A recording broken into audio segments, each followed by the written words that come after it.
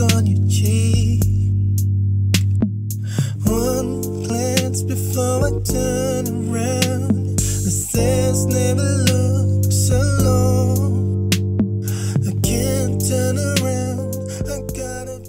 อ่าสวัสดีครับ มาเจอกันแล้วใน b ูคุนซี่ Tutorial นะครับ วันนี้ก็เป็น Ableton เหมือนเดิมครับผม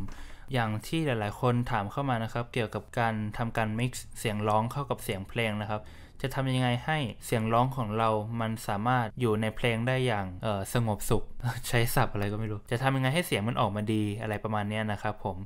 วันนี้จะมาลองทำดูนะครับ อันนี้ผมมีโปรเจกต์อยู่โปรเจกต์หนึ่งครับ อันนี้เป็นเพิ่งทำเอาไว้นะ อันนี้ผมไปเอามาจากเว็บเอ่อ Archipela นะครับ ก็จะเป็นเสียงร้องแห้งๆ แบบนี้ kiss on your cheek. One glance before I turn around. เสร็จแล้วเนี่ยผมเอามาใส่ดนตรีเข้าไปนะครับ เพื่อที่จะให้เข้ากับเสียงร้องออกมาก็จะเป็นอย่างนี้ครับ Kiss on your cheek. One glance before I turn around. The stairs never look คราวนี้สังเกตว่าเสียงร้องเนี่ย มันมีความแบบว่า cover พื้นที่ทั้งหมดนะครับผมทำให้มันไม่มีพื้นที่สำหรับเครื่องดนตรีอื่นๆคีย์บอร์ดกลองเบสไม่มีพื้นที่ให้พวกนั้นลงเลยนะครับ เสียงมันเลยจะตีกันเอง เพราะฉะนั้นเนี่ยเราต้องมาหาวิธีแก้ปัญหาครับ ก็คราวนี้มาลองฟังกันก่อนว่ามันจะเป็นยังไงนะครับผม kiss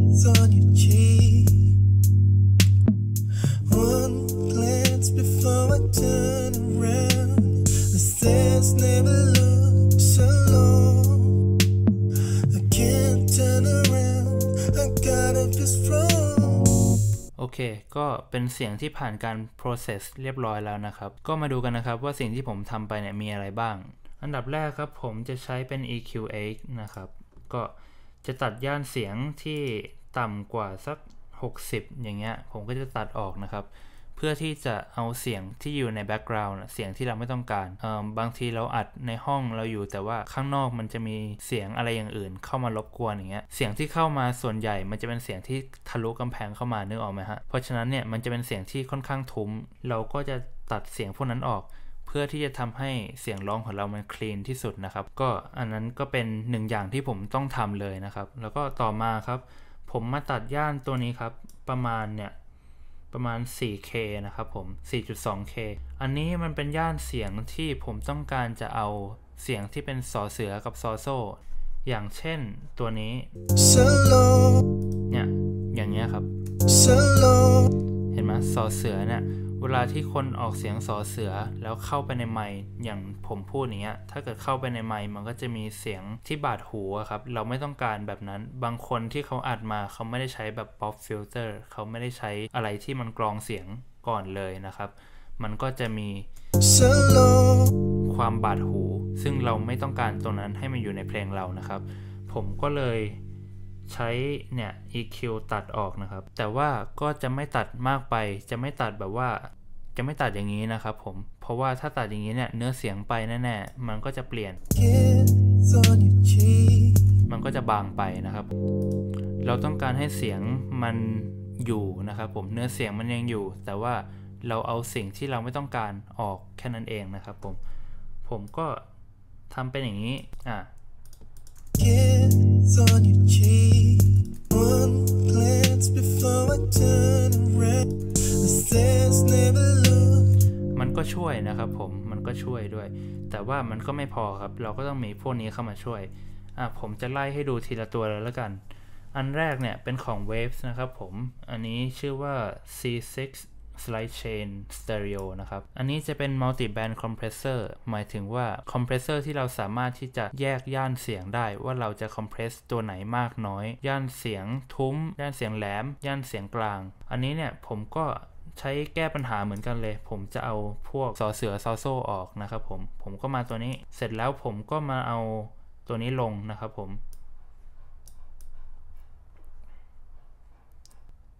ซึ่งผมก็จะเอาลงประมาณนี้นะครับ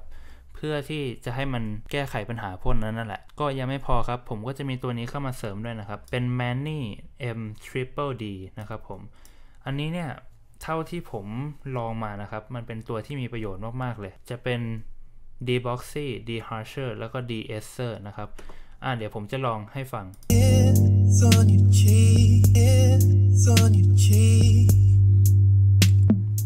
one. อ่าเดี๋ยวผมจะลองให้ฟังเป็นลูปนะครับผมจะได้เห็นภาพกัน วิธีการทำลูปนะครับถ้าเกิดว่าเราจะทำงานกับท่อนไหนสักท่อนหนึ่งอย่างเงี้ย ผมก็จะเอาตัวนี้มานะครับ ดูที่หน้าจอนะครับอ่าผมก็จะเลื่อน 2 ตัวนี้มา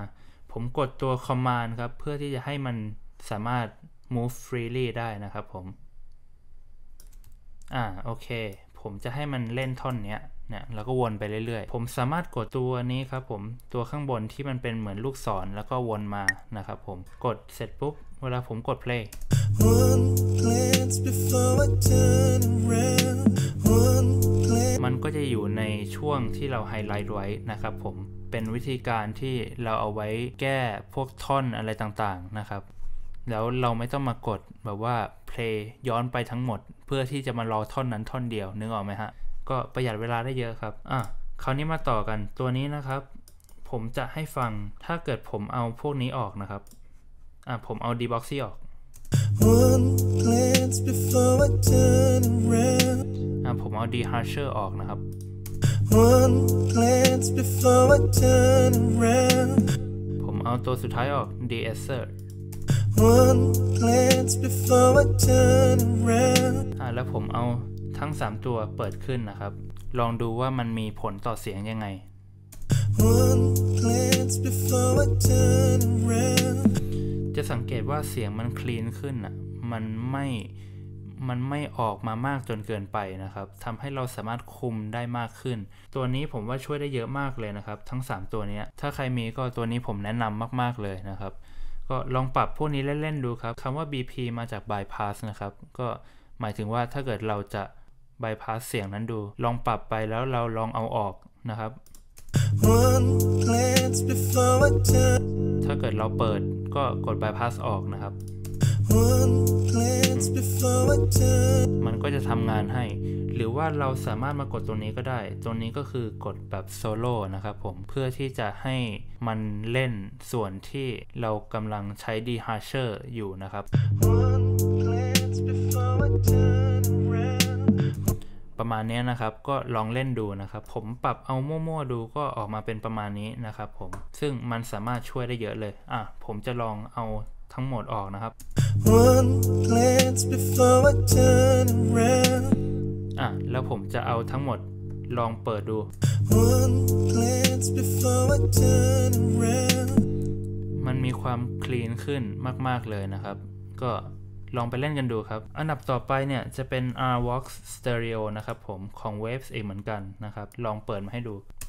One glance before I turn around.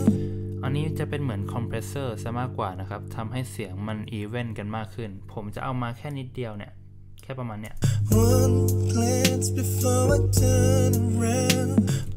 เสียงที่มันแบบว่ามันดังไป ผมก็จะ compress มันลงมานะครับผม plug-in เขาจะจัดการให้อยู่แล้วนะครับ เสร็จแล้วเนี่ยผมก็จะมาที่ ping pong delay นะครับ เป็น delay ที่เราไม่อยากให้เสียงมันแห้งจนเกินไปนะครับ ก็ถ้าเกิดไม่ใช้ก็จะเป็นอย่างนี้ One glance before I turn around. ผมคิดว่ามันแห้งๆยังไงไม่รู้ อะแล้วผมลองใส่ปิงปองดีเลย์เข้าไปดู One glance before I turn around. มันจะมีความแบบว่ามันจะมีเสียงตามหลังอยู่นิดนึงอะ ซึ่งมันสามารถช่วยได้มากเลย ในการที่ทำให้เสียงมันดูเต็มมากขึ้นนะครับผมทำให้ทำให้เสียงมันไม่แห้งจนเกินไปนะครับ ก็พอเสร็จลูปนะครับเราก็กดตัวนี้ออก เสร็จแล้วเรามาลองฟังภาพรวมกันนะครับ yes. One glance before I turn